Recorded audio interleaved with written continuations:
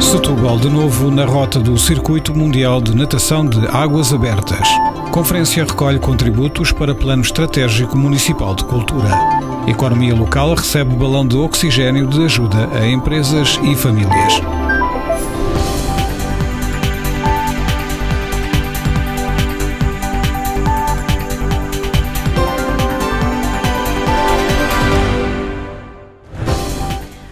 Bem-vindos ao Setúbal 360. 9 milhões de euros vão ser injetados na economia local. Esta é mais uma das várias medidas que a Câmara Municipal tem vindo a adotar para atenuar os efeitos da crise nas empresas e nas famílias. A decisão foi anunciada no dia 23 pelo Presidente da Autarquia, André Martins. De acordo com o autarca, está a ser feito o levantamento das empresas com faturas mais atrasadas, sendo que o montante atual a canalizar para estes pagamentos deverá rondar os 8 milhões e 600 mil euros. Os restantes 400 mil euros destinam-se a cumprir os compromissos estabelecidos com as associações e coletividades do Conselho. A injeção destes 9 milhões de euros na economia local junta-se a um conjunto de medidas extraordinárias aprovadas pela autarquia para o ano 2023 que visam a mitigação dos efeitos da crise económica e social no Conselho. A comunicação e a captação de público, principalmente jovem, foram no dia 26 temas em destaque na Conferência Municipal de Cultura de Setúbal. Um encontro onde foi recordada a transversalidade da cultura, abrangendo assuntos como o ambiente, a educação, a inclusão social ou o património.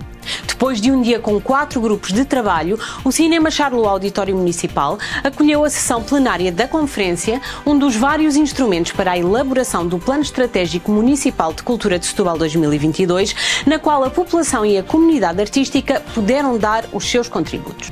O vereador da Cultura, Pedro Pina, mostrou-se satisfeito com a participação das pessoas e com os contributos que deixam para a elaboração do plano. É mais uma etapa do Plano Estratégico de Cultura de Setúbal.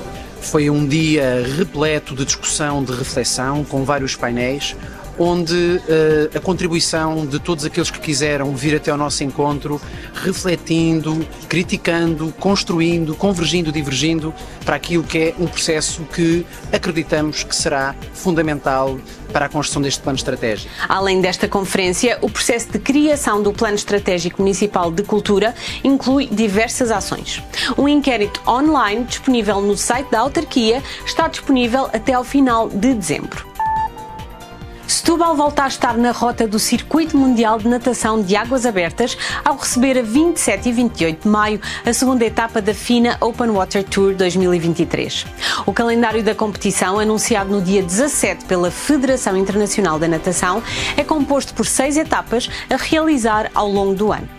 A etapa no Rio Sado decorre, como habitualmente, a partir do Parque Urbano de Albarquel, espaço ribeirinho que proporciona todas as condições para a realização do evento desportivo.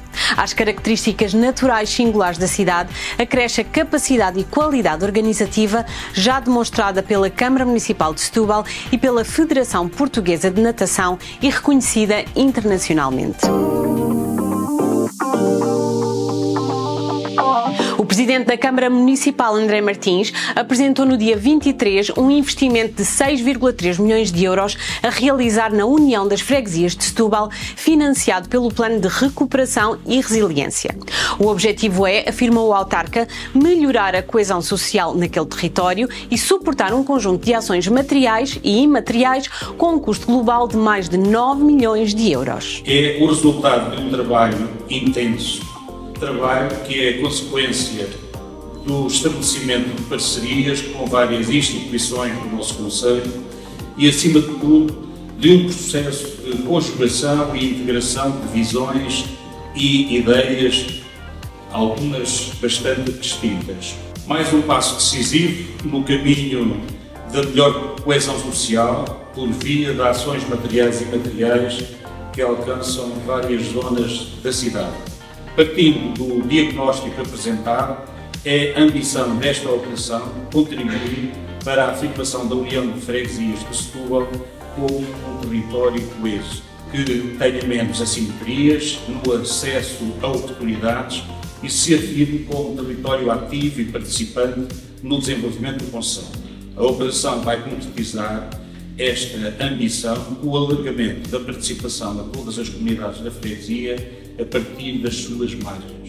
Os cerca de 6,3 milhões de euros de investimento contratualizado repartem-se em intervenções físicas, cerca de 69% do montante total, e em ações imateriais. A construção do Centro Educativo Barbosa do Bocage, no bairro do Liceu, e as requalificações do Campo de Jogos das Pedreiras e do Pavilhão João dos Santos, ambos no Viso, destacam-se entre as intervenções a realizar. O Coral Infantil de Setúbal e a Sociedade Musical Providência fizeram anos. O Presidente da Câmara Municipal participou no programa comemorativo do aniversário das duas coletividades. Em Azeitão, no dia 26, André Martins felicitou a Sociedade Filarmónica Providência pelo centésimo quadragésimo segundo aniversário, sublinhando o papel desempenhado pelas coletividades na difusão cultural no Conselho. As coletividades são uma fonte de vida e de dinâmica nas nossas sociedades. Sempre foi assim e é muito importante que continue a ser assim. As coletividades uh, são essa representação maior da vida em sociedade. É aqui que nós uh, também uh, promovemos a nossa cultura e daqueles que vivem connosco. Isso é outra componente muito importante da nossa vida, de uma sociedade democrática, uma sociedade participativa, esta coletividade, como as outras, podem contar com a Câmara Municipal de Setúbal. É essa também a responsabilidade que nós temos. No dia seguinte, no Fórum Municipal Luísa Todi, o autarca assistiu ao concerto comemorativo dos 43 anos do Coral Infantil de Setúbal. André Martins agradeceu e saudou a vitalidade da instituição setubalense. Muito obrigado a todos eh, que, eh, que nos proporcionaram eh, hoje chegarmos ao fim de 43 anos aqui. A Câmara Municipal cabe, naturalmente, acompanhar estas associações, estas coletividades e procurar também, dentro das suas possibilidades, apoiá-los para que esta riqueza da cultura e do desporto que nós temos no nosso Conselho, na nossa cidade, possam continuar. O concerto comemorativo, com direção do maestro Nuno Batalha e acompanhamento ao piano de Gonçalo Simões, partilhou com o público alguns dos mais famosos temas de música operática.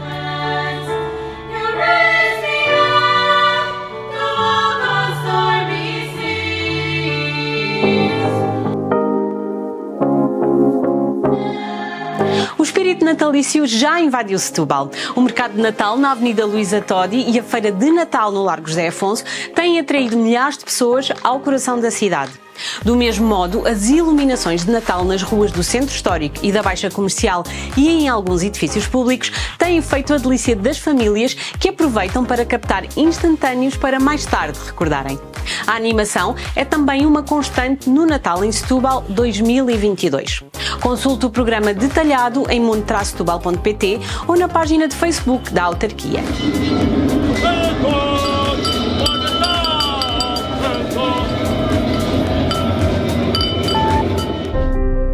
A Liga Portuguesa contra o Cancro no âmbito da sua missão de prevenção secundária, efetua rastreio de cancro da mama às mulheres entre os 50 e os 69 anos, conforme planeamento de dois em dois anos. A Liga Portuguesa contra o Cancro está a realizar rastreios gratuitos do cancro da mama no Conselho de Setúbal a mulheres dos 50 aos 69 anos.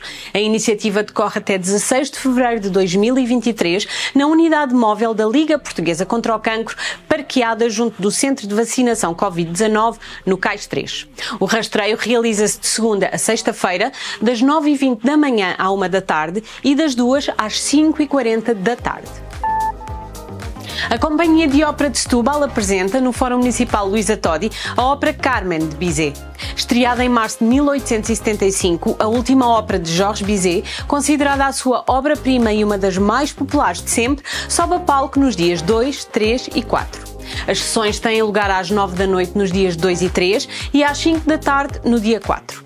Os bilhetes custam 10 euros para a plateia e 8 para o balcão e podem ser adquiridos no Fórum Luísa Todi ou em bol.pt.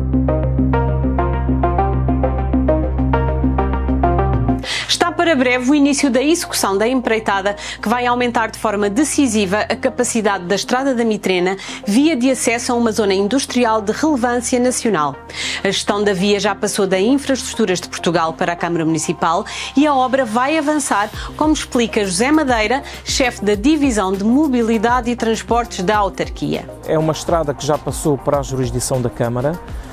Eh, com uh, houve a transferência, houve um auto de transferência, um, um, um, acordo de mutação dominial com as infraestruturas de Portugal, uh, no sentido da estrada passar para a Câmara, com transferência de verba, também com transferência de verba por parte do, do PRR, e o que vai permitir, e que já está um, um concurso em, em andamento, o que vai permitir um, a beneficiação uh, desta estrada. Portanto, a intenção é uh, haver um reforço e ter um novo pavimento em toda, em toda a via e também uh, uma melhoria ao nível de, das laterais da própria estrada, com a execução de passeios, ciclovias forma a garantir que uh, os próprios trabalhadores possam vir para esta zona, deslocar-se em bicicleta uh, e uh, dar melhores, melhores condições também de acessibilidade aos modos pedonais. Terá também a possibilidade de ter recortes para transportes públicos também, que é, que é um, um dos problemas também da, na acessibilidade desta zona. A empreitada necessária para concretizar esta obra, considerada prioritária, foi adjudicada por perto de 4 milhões de euros.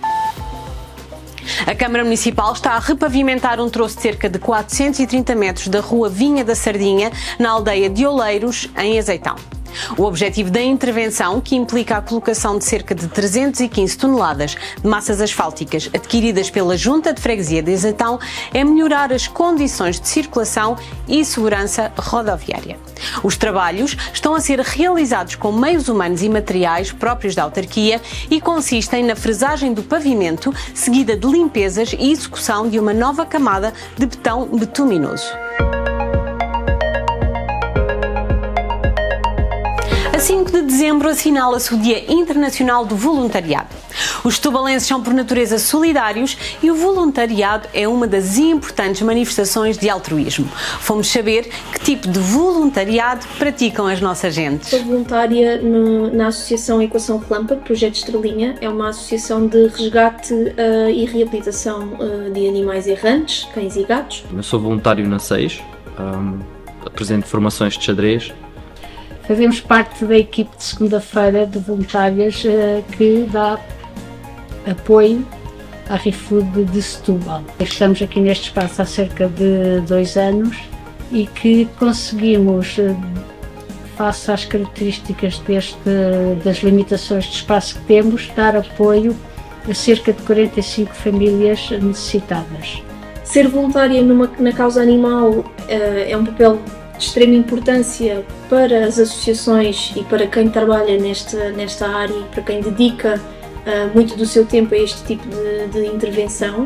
Um, é também extremamente gratificante e principalmente se gostarmos de animais e se for algo que, que nos dá uh, prazer e alento fazer, então ainda melhor. Cada equipa uh, integra cerca de 4, 5 voluntários que fazem a, a distribuição dos alimentos pelas respectivas famílias Uh, alimentos esses que nos chegam através de, de outros voluntários que recolhem uh, alimentos em, dos, dos nossos com os parceiros, nomeadamente uh, restaurantes, supermercados, pastelarias, cafés. E vêm até nós e nós cá, nós os voluntários, é cada dia recolhemos, recolhemos, trazem-nos e nós tentamos distribuir da melhor forma às famílias que nos são indicadas. Há muito trabalho a fazer nas associações de animais, não só de passar tempo com eles, mas também de todo, todo, toda a organização, toda a limpeza, participação em campanhas. Há muitas coisas que nós podemos fazer nas associações de animais e é muito desse trabalho que eu acabo por fazer também, juntamente com outros colegas voluntários. Uh, e por isso, sim, esta é a minha experiência de, de voluntária. Tem sido uma experiência que me tem completado enquanto pessoa e ver que nós estamos a ajudar faz-me crescer e faz-me evoluir e vejo que é necessário este tipo de, de, de, trabalho. Não é um trabalho porque nós estamos aqui por vontade própria. Nós estamos aqui porque queremos e porque temos, se calhar, uma avante a levar à frente. E neste caso, o meu é ajudar mais e mais pessoas e acho que toda ajuda é necessária. Não sei se a Filomena pensa da mesma maneira. Exato. Nós estamos aqui a representar o Dia do Voluntariado, que é dia 5, e faço mais uma vez um apelo um, a todos os jovens que queiram conhecer a modalidade, dado que há pouca oferta em Setúbal, a vir jogar xadrez e a aprender a jogar xadrez, porque eu acho que o xadrez tem uma mais-valia em termos sociais, em termos desportivos e em termos pessoais. Por isso venham. Estamos a precisar de voluntários, portanto está aberto o desafio. Voltamos na próxima semana. Cada um de vocês.